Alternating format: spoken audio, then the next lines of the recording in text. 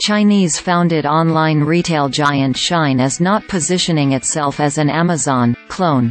The company told CNBC, as it prepares for a U.S. public listing later this year. The e-commerce company's product categories are likely to grow over time. As the business entrenches itself deeper into the U.S., Peter Pernot-Day, head of strategic communications, UK and US, said. But that expansion will vary from market to market, and skew heavily toward Generation Z, born between the late 1990s and early 2000s, and younger millennial consumers, who were born between the early 1980s and late 1990s. I don't see us in an Amazon clone per se, Pernot-Day said at the World Economic Forum in Davos, Switzerland. The Singapore-headquartered fashion brand has already ventured into product lines as diverse as electronics, sports and home appliances, after winning over millions of U.S. shoppers during the pandemic with its low-cost and seemingly limitless clothing lines.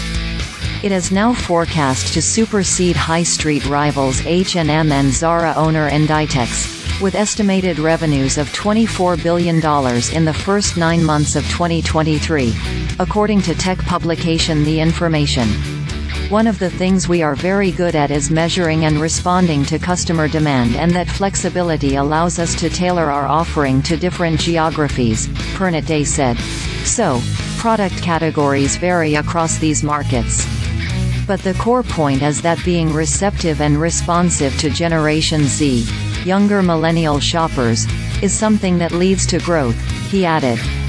The expansion comes as competition mounts in the U.S. e-commerce market ahead of Shein's hotly watched 2024 initial public offering, IPO.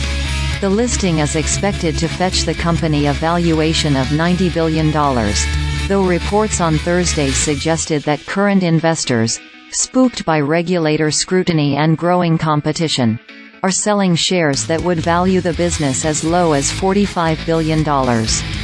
A company spokesperson said valuations in secondary sales don't necessarily reflect real-world value.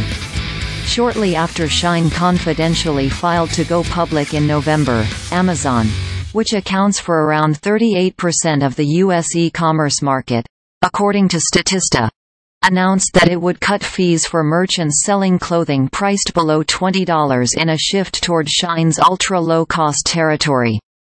Amazon currently offers a wide variety of entertainment, household, utility, food and fashion products, and produces some clothing items under its own private label. In contrast to Shein, it also allows third-party retailers to offer products on its platform.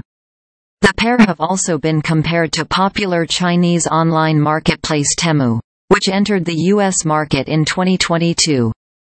Pernot-Day did not give a timeline on the upcoming listing.